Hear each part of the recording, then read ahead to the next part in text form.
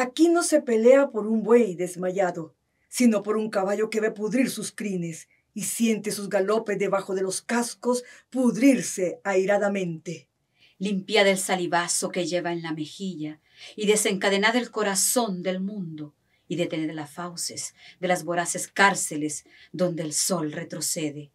La libertad se pudre desplumada en la lengua de quienes son los siervos más que sus poseedores.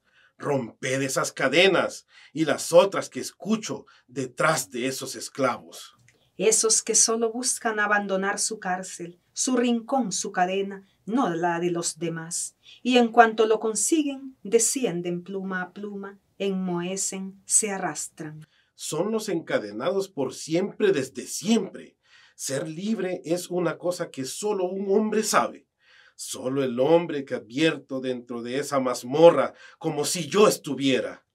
Cierra las puertas, echa la aldaba, carcelero, ata duro a ese hombre, no le atarás el alma. Son muchas llaves, muchos cerrojos, injusticias, no le atarás el alma. Cadenas, sí, cadenas de sangre necesita, hierros venenosos, cálidos, sanguíneos eslabones, nudos que no rechacen a los nudos siguientes, humanamente atados. Un hombre aguarda dentro de un pozo sin remedio. Tenso, conmocionado, con la oreja aplicada. Porque un pueblo ha gritado. ¡Libertad!